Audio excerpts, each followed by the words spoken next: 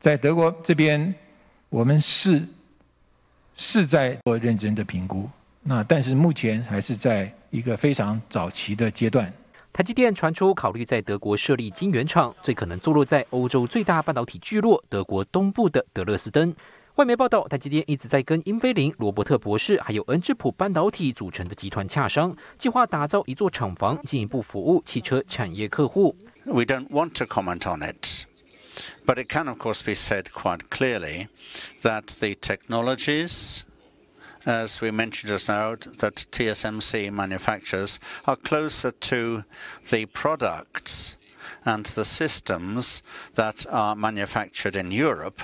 And from this point of view, it certainly would be an interesting idea to have TSMC in Germany.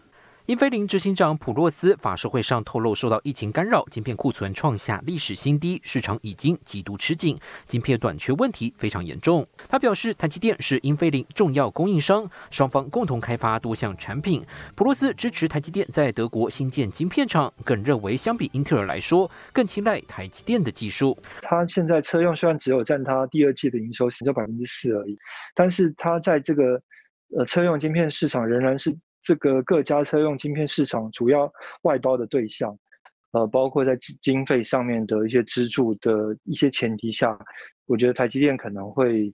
比较有意愿去像欧洲这样子的地方设厂。车用半导体制造流程少说三到五年起跳，功率规格要求更高。相较初步切入代工领域的英特尔，专家认为台积电在产业熟悉度上更具优势。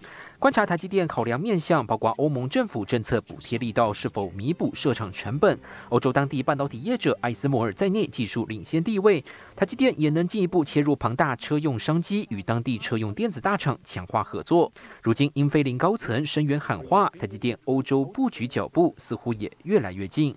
新台电沈维彤台湾台北报道。